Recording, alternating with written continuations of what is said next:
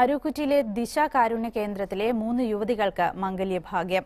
Hotel management ബിരുദധാരികളായ നർഗീസ് ബാനു ഫാത്തിമ എന്നിവർക്കും മഹാലക്ഷ്മിക്കുമാണ് പുതുജീവിതത്തിലേക്ക് വഴിയൊരുങ്ങുന്നത്.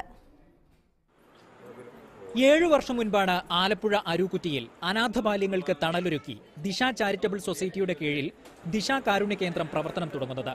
മുപ്പത്തിമൂന്നോളം ബാല്യ കൗമാരങ്ങൾ ഈ തണലിൽ ജീവിക്കുന്നു. ഇരുപത് യുവതികളെ ഇതിനകം തന്നെ ദിശ വിവാഹം കഴിപ്പിച്ച് അയച്ചു. ഒൻപതാം ക്ലാസ്സിൽ പഠിക്കുമ്പോഴാണ് വാടാനപ്പള്ളി റഹ്മത്ത് നഗർ ചുണ്ടക്കളം പരേതനായ സലീം ഹാജിറ ദമ്പതികളുടെ മകൾ നർഗീസ് ബാനു ദിശയിലെത്തുന്നത്. ഏഴാം ക്ലാസ്സിൽ പഠിക്കുമ്പോൾ ചാരുമൂട് തുണ്ടുപുരയിൽ ഷാഹുദ്ദീൻ അനീഷ എന്നിവരുടെ മകൾ ഫാത്തിമയും ഇവിടെയെത്തി. ഇരുവരും ഹോട്ടൽ മാനേജ്മെന്റ് ബിരുദധാരികളാണ്.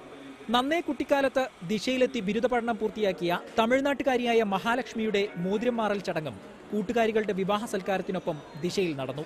തൈക്കാട്ടുശ്ശേരി കുട്ടൻചാലിൽ മണിയപ്പൻ ആനന്ദവല്ലി ദമ്പതികളുടെ മകൻ മഹേഷാണ് മഹാലക്ഷ്മിയുടെ വരൻ. ഡിസംബർ എട്ടിന് കവളംകോടം ക്ഷേത്രത്തിലാണ് ഇവരുടെ വിവാഹം. Disha president Saleem Cherukad general secretary Mirsad Pandavath എന്നിവരാണ് വിവാഹ ചടങ്ങുകൾക്ക് നേതൃത്വം നൽകിയത്. ജനപ്രതിനിധികളും ചടങ്ങിൽ പങ്കെടുത്തു. മനോരമ ന്യൂസ് ആലപ്പുഴ.